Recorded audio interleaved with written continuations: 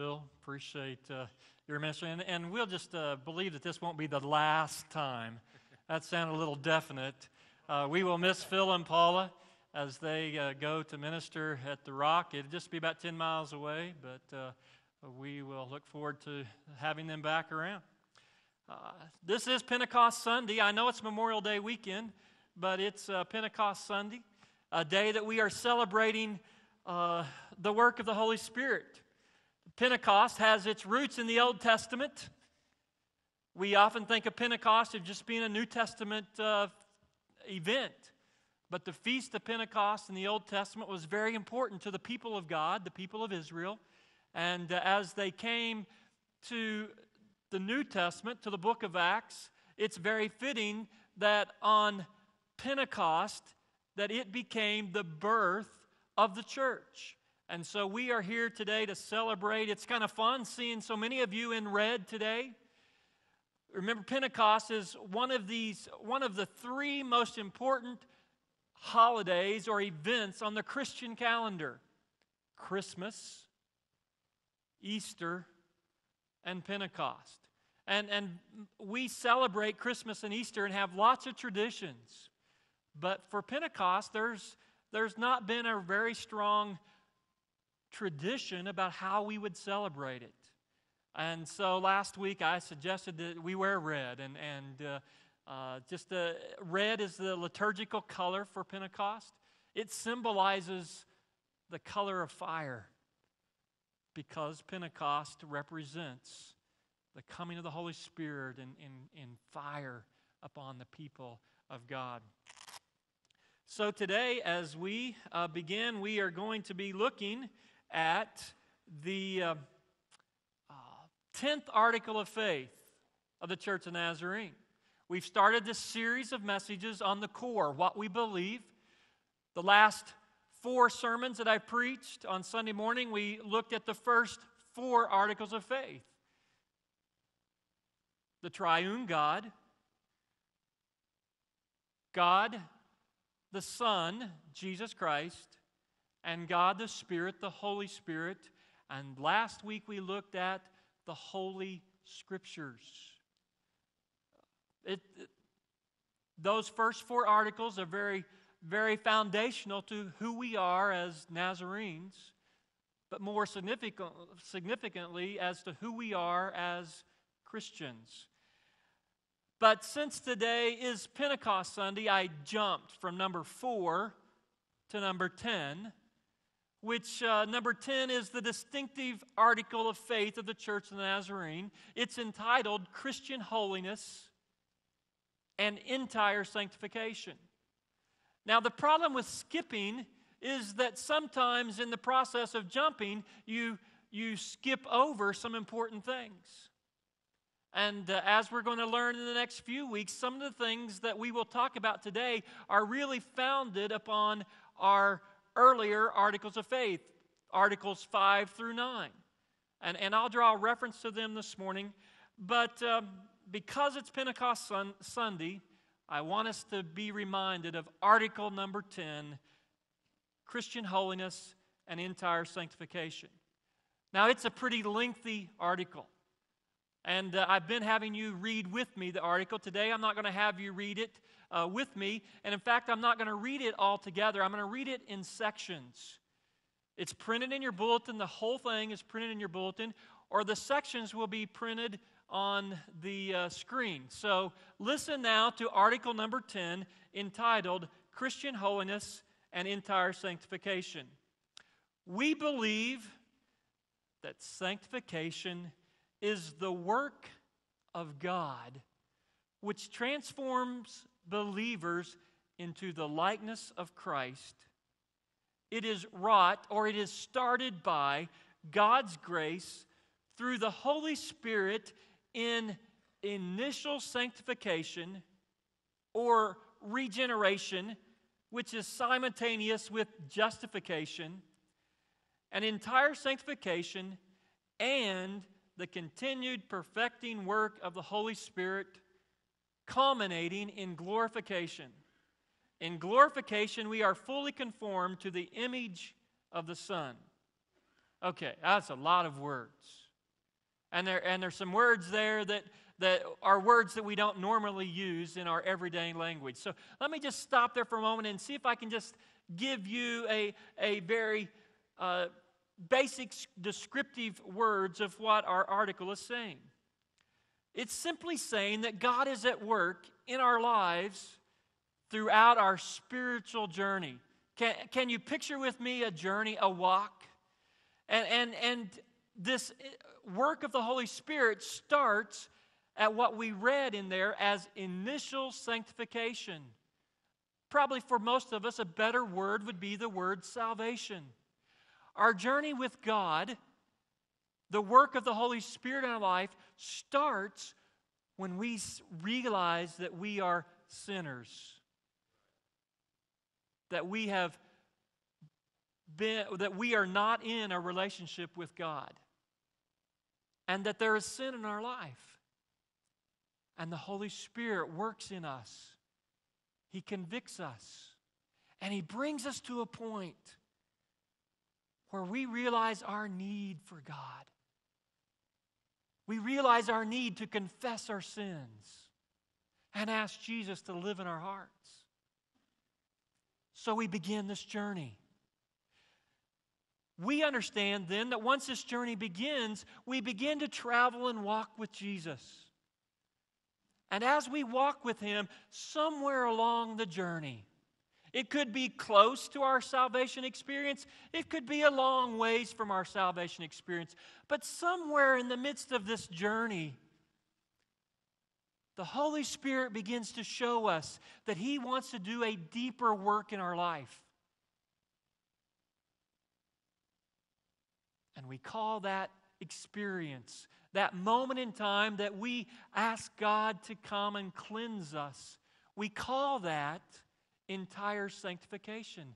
So, initial sa- sanctification, the salvation experience. Along the journey, the Holy Spirit stops us, gets a hold of us, and, and helps us understand that He wants to do a deeper work in our life. We call that entire sanctification. And then in our article, it goes on to say that there is a third experience, that of glorification, and that is the experience of death and we leave this old world and we entered into a glorified state in which we truly become like Christ. This whole process, this whole journey, God is helping us to become like Christ. Well, let's go on then and read some a little bit more. We believe that entire sanctification, okay, this, this moment in time that we identified right here, we believe that entire sanctification is the act of God subsequent to regeneration. It happens after salvation, somewhere along the line, subsequent to regeneration, by which believers, those that have entered the journey, are made free from original sin or depravity and brought into a state of entire devotement to God and the holy obedience of, of love made perfect. As I mentioned a moment ago, let me stop there for a moment. By moving to Article 10, we jumped over some very important foundations in our articles. It's important for us in understanding this paragraph. And, and I don't want to spend much time here, but I, I think I need to mention it to you because if we don't, then we really can never grasp this, this entire sanctification. We believe that there are two types of sin there is the sinful act, a choice that you and I make to disobey God's law. When we make that decision, we need forgiveness for that act. That is that moment in time of initial sanctification or salvation. And along the journey, there are many times that we need to make confession and seek the forgiveness of God. The sinful acts. But secondly, we believe there is what we have identified or called original sin. It's not the act itself, it is the, the roots, it is the, the very essence of what causes us to commit the sinful acts. Entire sanctification is this experience in which God wants to deal with the root he wants to go down deep into our hearts and to help us understand what it is that causes us to sin against Him, to commit these willful choices to disobey His law. And so, salvation or initial sanctification deals with the act of sin, entire sanctification deals with the root of sin. Let's go on and read a little bit more. It says, It is wrought by the baptism with or infilling of the Holy Spirit, and comprehends in one experience the cleansing of the heart from sin and the, imbi- the abiding, indwelling presence of the Holy Spirit, empowering the believer for life and service. This paragraph simply gives to us a description of God's method of sanctifying. It uses the word baptism, and it's a description of the Holy Spirit uh, covering. In, in our understanding of baptism, we emphasize most of the time the submersion, the going under. When we go under the water, there is this covering of the whole body.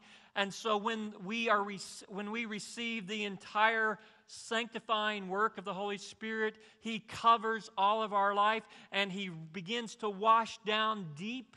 Baptism is a symbol of cleansing, of washing away. And the Holy Spirit, the baptism of the Holy Spirit comes and, and works to, to get down to the very root of, our, of the cause of sin. And He cleanses that, He washes that away, dispelling the root of sin. The article goes on to say entire sanctification is provided by the blood of Jesus, is wrought instantaneously by grace through faith, preceded by entire consecration. And to this work and state of grace, the Holy Spirit bears witness. So we believe that only because Jesus came and died on the cross, spilling out his blood, the work of sanctification of the Holy Spirit can happen. And when it does happen, we believe that the Holy Spirit helps us to know of his work. This experience is also known by various terms represented in, differing, in different phrases, such as Christian perfection. Let me just stop there. This is in my notes, but Christian perfection is a very difficult word or phrase.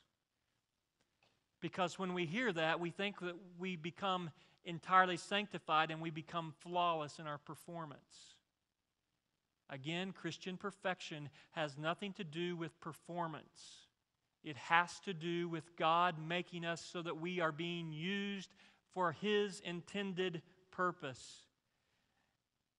It's also the word perfect love, heart purity, the baptism with or infilling of the Holy Spirit, the fullness of the blessing, and Christian holiness.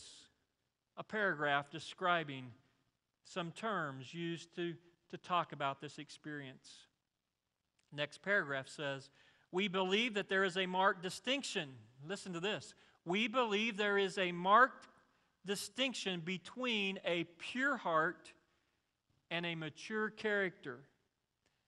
The former, a pure heart, is obtained in an instant, the result of entire sanctification. The latter, mature character, is the result of growth in grace. You understand what we're saying here? There, there is a point in time, there is a, a moment in our journey where we realize that we need the work of God. And so, by saying, okay, God, I let go, I consecrate my life, I, I love the illustration of the keys. As long as I have a hold of the keys, I've maybe have said, God, you can come and ride in the car with me.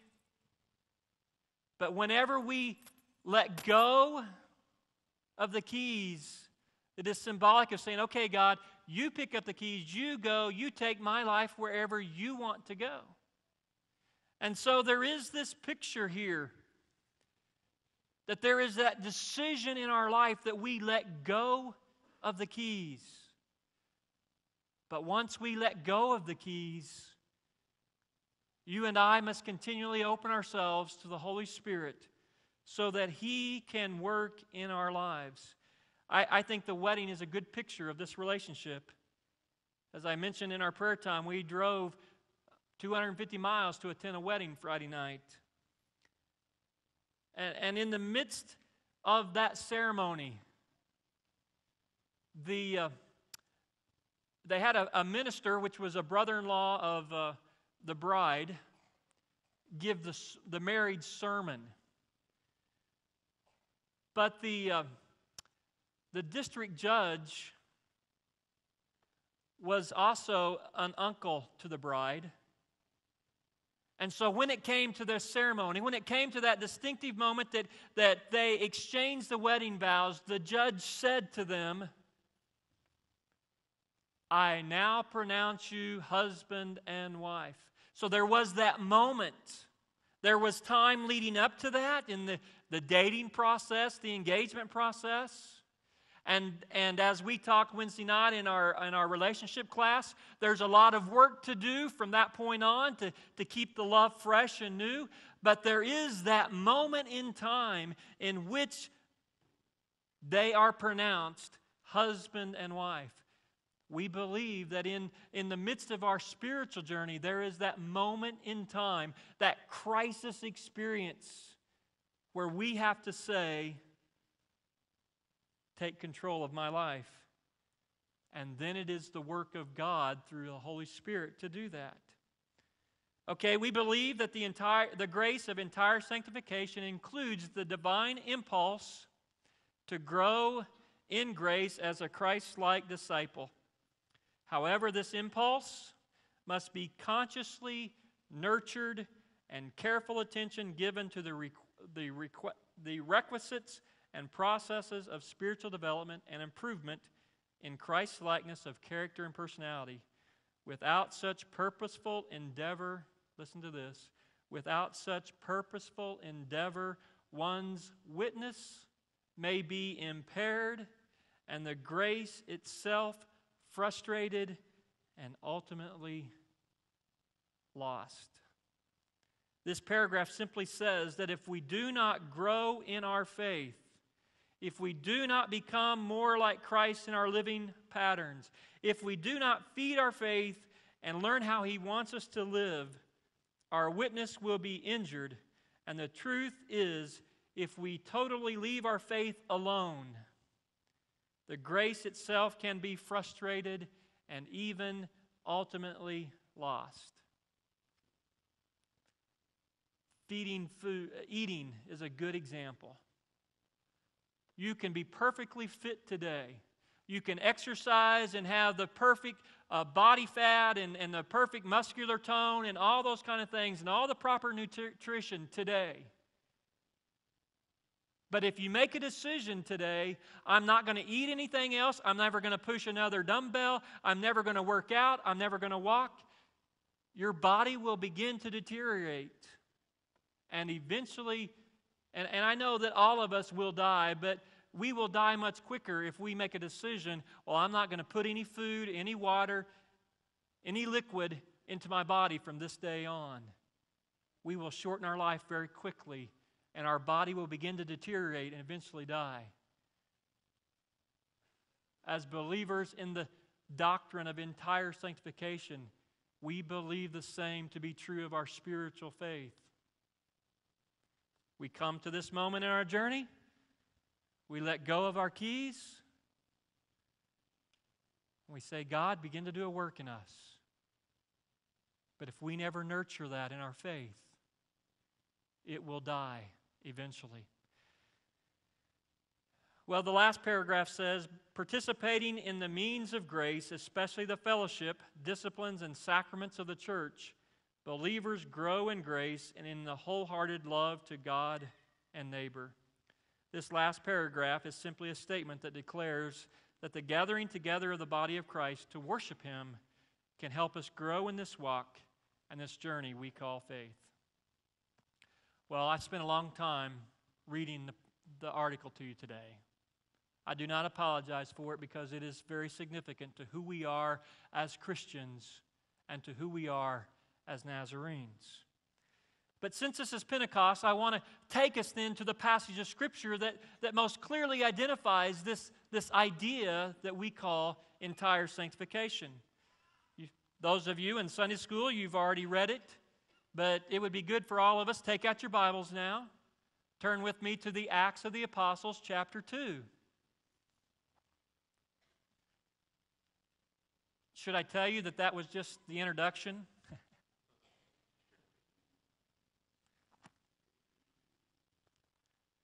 The body is a little shorter. Acts chapter 2. Would you stand in honor of the reading of the Word of God?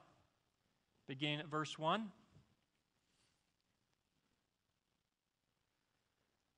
When the day of Pentecost came, they were all together in one place. Suddenly, a sound, like the blowing of a violent wind, came from the heaven and filled the whole house where they were sitting. They saw what seemed to be tongues of fire that separated and came to rest on each of them. All of them were filled with the Holy Spirit and began to speak in other tongues as the Spirit enabled them. Now there were staying in Jerusalem God fearing Jews from every nation under heaven. When they heard this sound, a crowd came together in bewilderment because each one heard them speaking in his own language.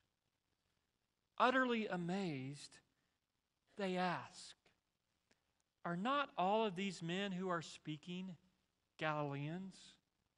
Then how is it that each of us hears them in his old, own native language?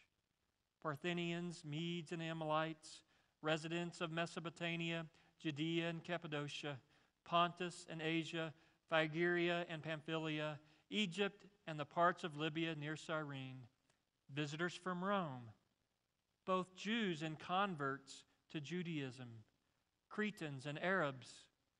We hear them declaring the wonders of God in our own tongues. Amazed and perplexed, they ask one another, What does this mean? This is the word of the Lord. You may be seated. I, just want to quickly give you three thoughts today. Three thoughts that I take away from this passage of Scripture. The first thought is this the infilling of the Holy Spirit comes with demonstration. Did you catch that? The infilling of the Holy Spirit comes with demonstration. In our text, we find that there are three distinct outward demonstrations of the Holy Spirit. Number one, the sound of a blowing wind. Number two, tongues of fire. And number three, the gift of languages being demonstrated by everyone hearing the story in their own language. But you know, if you read in church history, you read the life of John Wesley, who we consider to be one of the, the early fathers of the movement that we call the uh, Methodist movement and, and the whole Wesleyan emphasis of this work of entire sanctification. And uh, I, I read a little bit of his story this week. And, and you need to know, John Wesley, this great man of God, was struggling in his faith.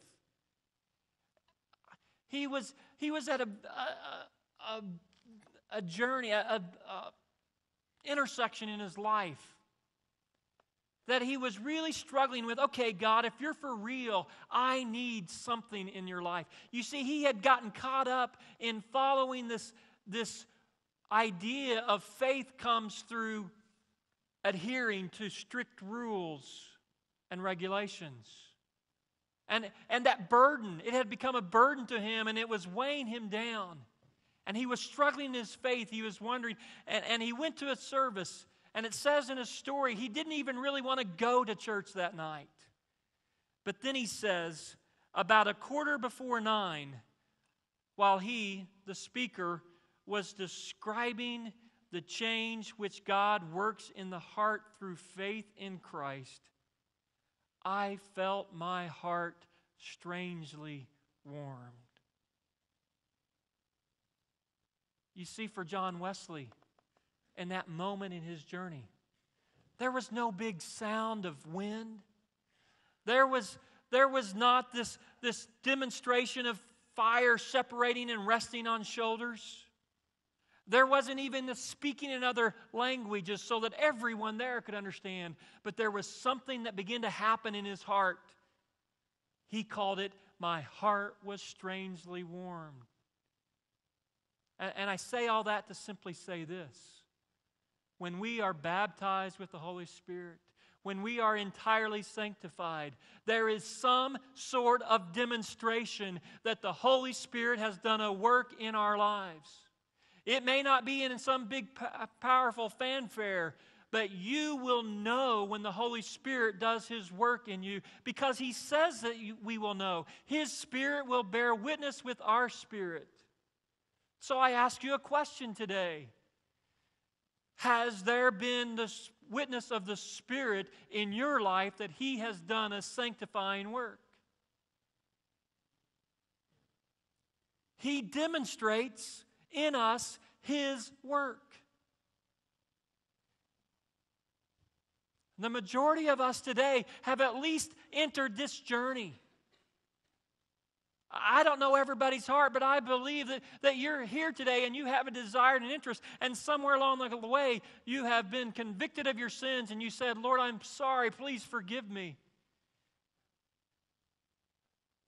But the Holy Spirit wants us to move along.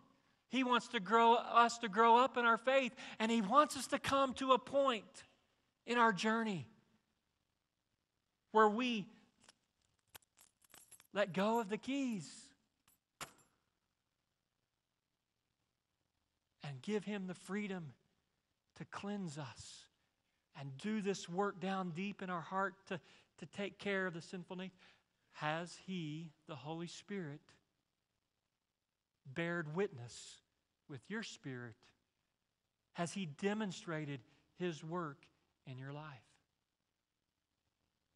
Holy Spirit demonstrates His work. Number two, there is a marked difference in you. Most of the time, we tend to see that that marked difference is in our, our, our dress and our behavior. But the real difference should come in our attitudes. Now, I, I believe that when He begins to change our attitude towards the world, towards this life, that it will affect the decisions that we make. It will affect how we dress and how we appear. It will affect where we go and what we do. But the real difference that He wants to make starts on the inside, not on the outside. He wants to make a difference in your life. So I have a question for you. Is your life any different from the time that you became saved? As you've journeyed along and grown in your faith, has there been a point where your life becomes different because God is doing another work in your life? He demonstrates His presence. He makes a difference in our life. And thirdly, He empowers us to tell the story. I, I like, we didn't read the rest of the chapter but we really can't, can't consider Pentecost without understanding that Peter, the one who had left his nets somewhere along when Jesus came and said, Come and make, become fishers of men, and he began to follow Jesus. He began to listen to what Jesus was teaching. He was a follower of Christ. But you see, there was this problem that he had in the midst of his journey. He still wanted to be in control. I'm talking about Peter here. He thought he could be in control in the garden.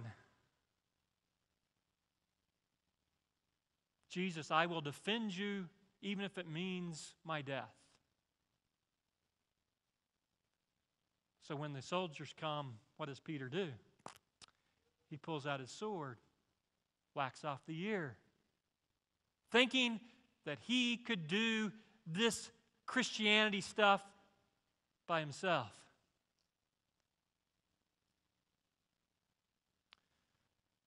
By the way, Jesus had already told him that he would deny him. And so, after Jesus heals the soldier's ear, and they begin to haul Jesus away, Peter and the other disciples run away. But Peter wants to follow in the distance. He wants to see what's going to happen. And so you know the story. Before the rooster crowed the next morning, three times he said, Oh, I don't know him. He was a follower of Christ. What was the problem? He had not come to this experience that he had let go of the control of his life so that the Holy Spirit, and, and part of that was because, according to the scripture, the Holy Spirit wasn't doing that work yet. Because it was on the day of Pentecost that the disciples were gathered together in this closed room, fearful, it tells us. And the Holy Spirit comes. And in verse 14, Peter stands up in front of the crowd. This crowd who began to mock them. This crowd who says, These guys are drunk. What are they doing? And Peter stands front and center. And he begins to tell the story. The same story that you and I know. The same story that, that brought salvation to our experience.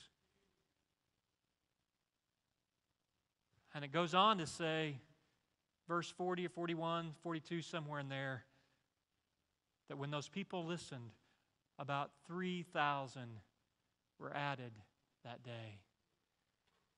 I, have been challenged this morning. Been challenged this week as I read, as I prayed, as I put down in words where is the demonstration and the difference in our world? Now, let's just not let's not make it generic. Let's make it personal. In my life and in your life. For when the Holy Spirit comes and we come to this, this moment in time that we let go, the Holy Spirit will demonstrate with our spirit. The Holy Spirit living in us will begin to make a difference in the way that we live in such a way that we will be empowered to tell His story in our world.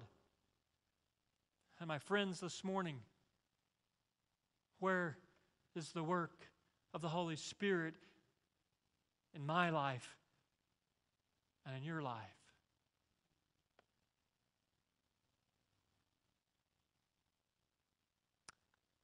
Paul says to the church in Ephesus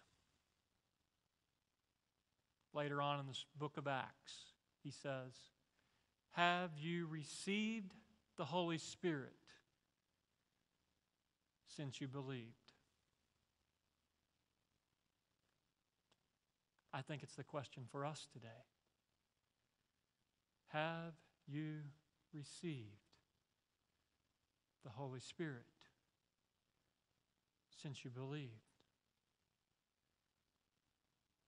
Is there a demonstration of the power of the Spirit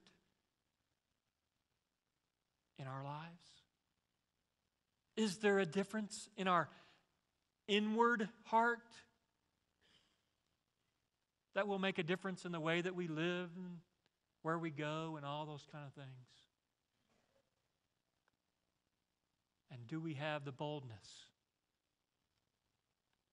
to tell the story. I want to pray with you today. After we pray, we're going to uh,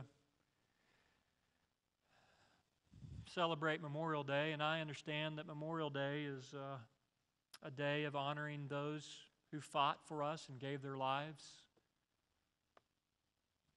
But I think it's also appropriate for us to honor the one who ultimately gave our lives so that we might be able to live. And so we will do that here in just a few moments.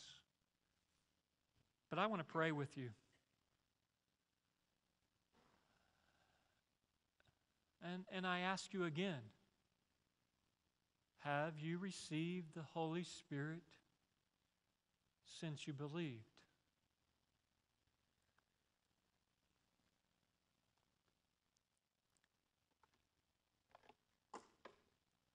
The sanctifying work of the Holy Spirit is, is a gift that we receive by faith when we let go of the keys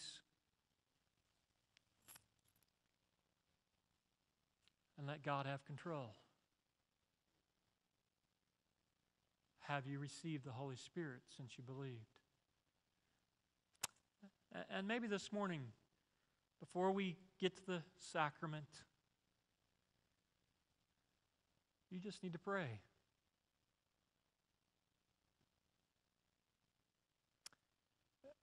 You want something more in the spiritual life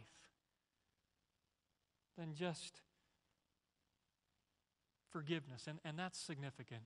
I, I don't want to belittle salvation uh, because it's so it is the entrance point that we get into the journey. And maybe today you've heard me speaking about this, this journey, this, this work, but you know today that there's sin in your life, and, and this work is for believers. And if you haven't received forgiveness of your sins, you're not a believer. And, and, and maybe today you want to become a believer, and you can do that today. The Holy Spirit's here, and He just knocks on your heart and says, Here's your sin. And you say, Lord, forgive me. Maybe He is speaking to us about receiving Him, His fullness, letting go of the keys of our life. You're welcome to come and pray while I pray, or you can kneel at your altar or at your pews. You can stand before the Lord. I, just a recognition of His desire to work in your life. But I believe I need to give you an opportunity to respond to His calling us today. We're not going to have music, we're not going to wait long, but if the Holy Spirit's speaking, He wants to do a work in our world, in our lives. So I invite you to pray that prayer of consecration and receive the baptism of the Holy Spirit today as we pray and before we share together at His table. Lord Jesus, this morning, I just, I'm so thankful for your work in, in our world and in our church in this service. I believe that today was important and significant. I believe that all of us needed to be reminded of this truth. Uh, it's not just about the Church of the Nazarene, although we need to know what we believe as Nazarenes. But we believe your word. And we believe that your word teaches us that you want us to grow up in our faith and, and come somewhere to this journey, this point in our journey that we surrender our life we offer ourselves before you and say, okay, Lord, fill me, cleanse me, sanctify me, whatever words that we want to use, but just so we understand what it means to, to let you have total control of our life. And so this morning, here we are.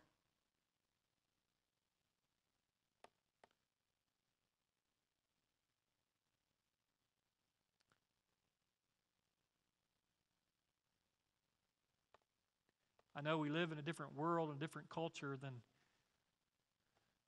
the disciples did. But you just told you told them to just wait.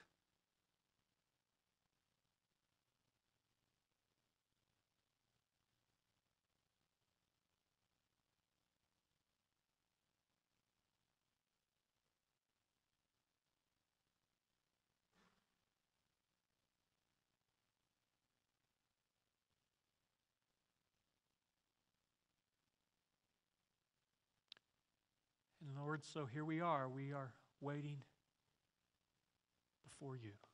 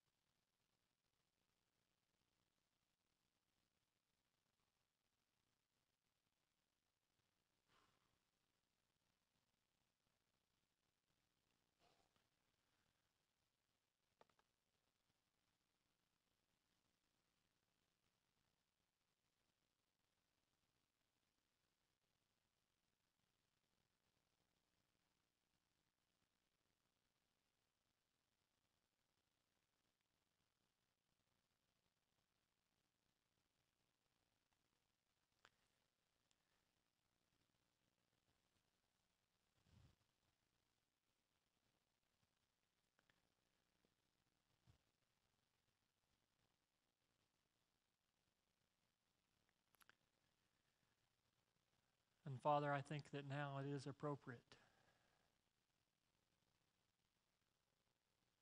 that we hear your invitation to come to your table and to remember to memorialize what you have done for us. Even as we read a few moments ago a part of our article that says that it is through your blood that was shed on the cross that we can experience your grace.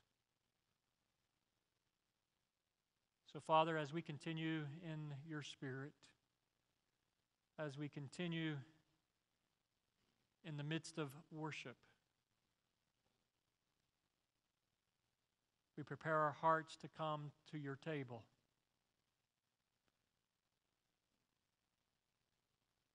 And to receive your cup and to receive your body, the bread. And Father, would you continue, continue to demonstrate your Spirit in work through us today?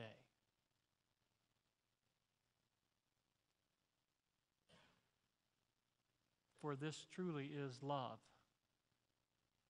that you would give your life for us. And we want to honor you by offering ourselves to you. In Christ's name, amen. I'll ask those that I've asked to prepare to assist us today if you would come and take your places. In the Church of Nazarene, we practice open communion.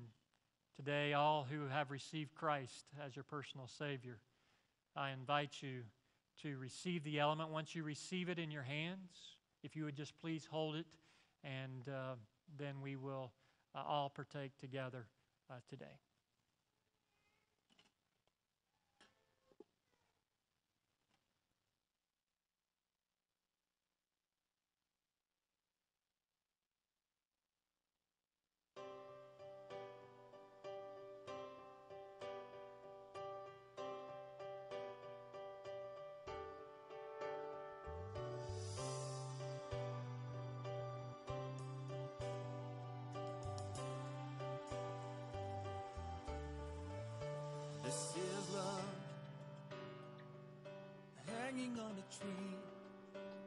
All the world to see.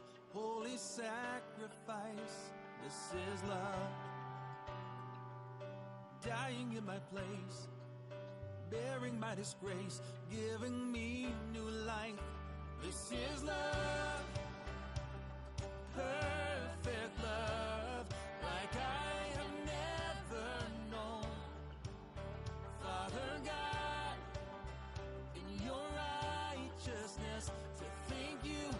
Claim me as your own. This is love.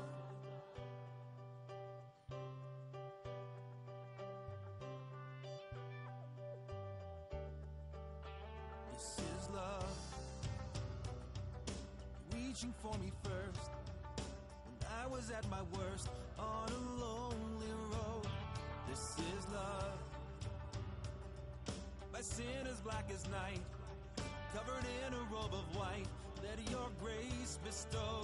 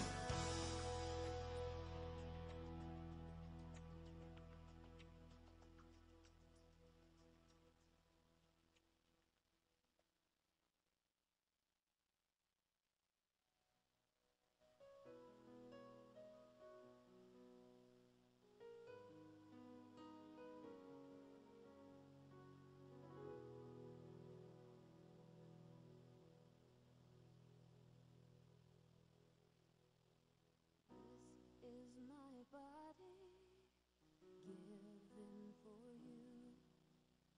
This is the cup that holds the blood of the new covenant. This is forgiveness, simple and true.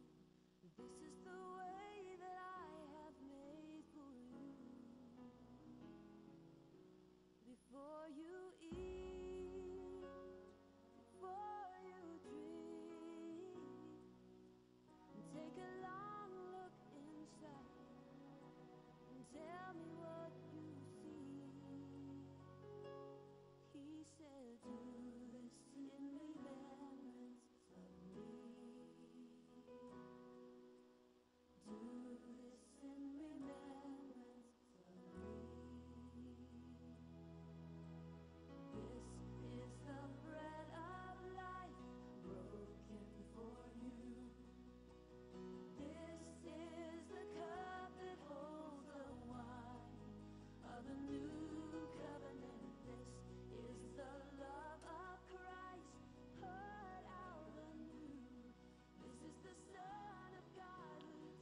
was the night that Jesus was betrayed.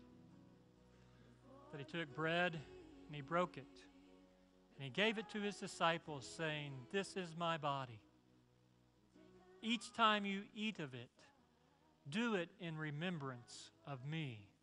Would you take now and eat of the Lord?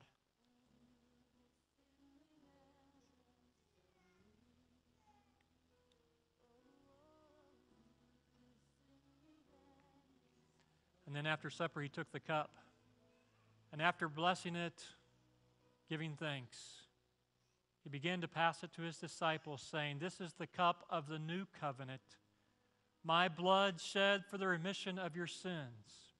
Each time you drink of it, do it in remembrance of me. Take and drink.